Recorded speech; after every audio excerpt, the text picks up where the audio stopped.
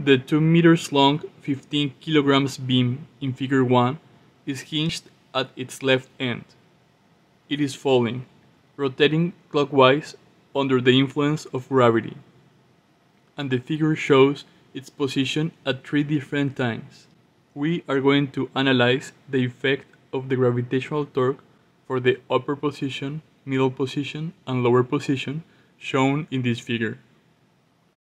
First, for part A, what is the gravitational torque on the beam about an axis through the hinge end when the beam is in the upper position?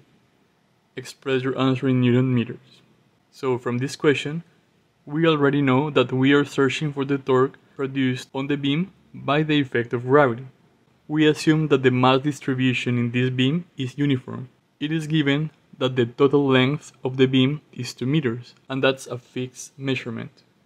The red imaginary lines are a reference for us to identify the right triangle that has an angle of 20 degrees above the horizontal as we can see from this picture. The beam's geometric center is located 1 meter to the right of the hinged end as we can see. This is important because the effect of gravity is going to take place at the geometric center since this beam is assumed to be uniformly distributed. The hypotenuse of the green triangle represents the radius from the hinge end to the place where the force is applied, that's the center of mass. I made a bigger copy of the green triangle to have a better view. We can see that the gravity acts directly on the center of mass and it's going completely downwards. It is important to remember that the beam's mass is 15 kilograms. Then the force of gravity, that's mg, is equal to 15 kilograms times 9.8 meters per second square. That's the acceleration of gravity. And we get that the force applied by gravity is 147 newton. And this force is going to be applied at the center of mass. I just changed the color of the radius from the hinge end to the center of mass for black color, as you can see, gravity completely downwards. This right triangle has 20 degrees above the horizontal.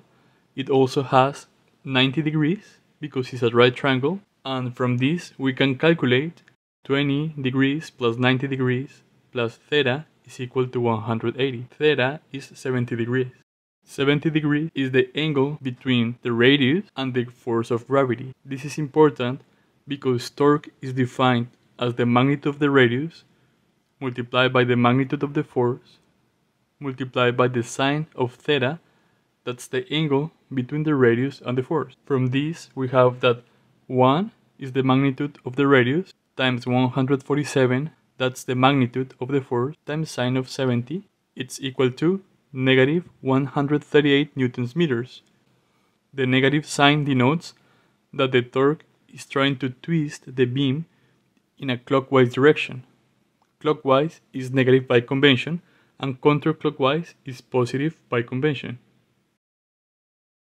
For part B, what is the gravitational torque on the beam about an axis through the hinge end when the beam is at the middle position? Express your answer in Newton meters.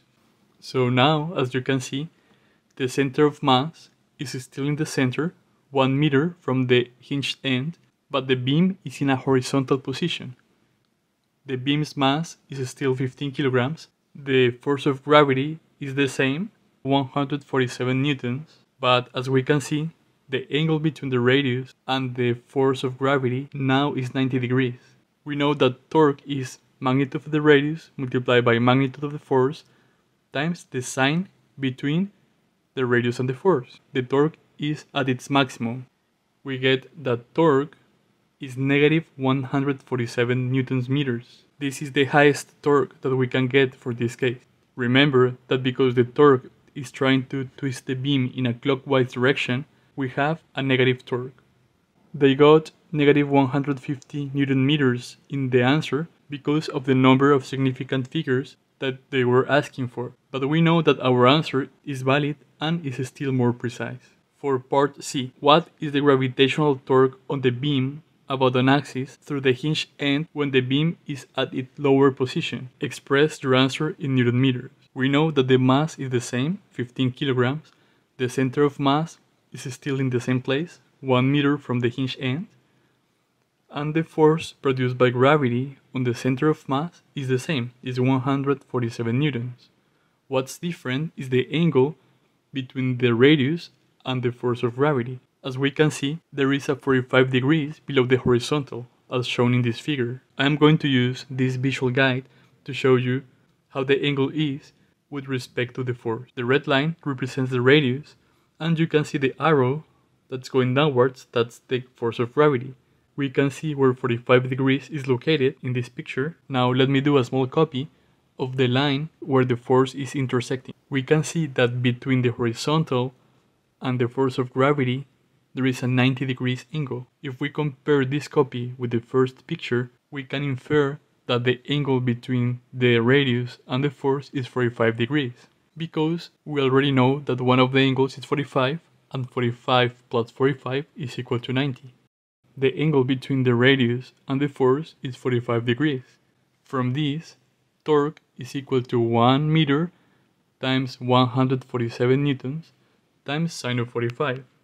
When we compute this with the calculator in degree mode, we get that the torque is negative 103.9 newtons meters. The answer given was negative 100 newtons meters because they're using a different number of significant figures. Now let's do a brief summary. The gravitational torque for the upper position is negative 138 newtons meters. The torque for the middle position is negative 147 newtons meters. And for the lower position is negative 103.9 newtons meters. We can see that the highest torque possible is when the beam is in the middle position. This happens because the angle between the radius and the force of gravity is 90 degrees. And we know that the sine of 90 is equal to 1. Then, the highest torque that we can achieve in this case is in the middle position. Okay guys, I hope that this was useful. Remember to like, hit the subscribe button, share it with your friends, your geek friends, your girlfriend, and I'll see you in the next video. Keep it going guys.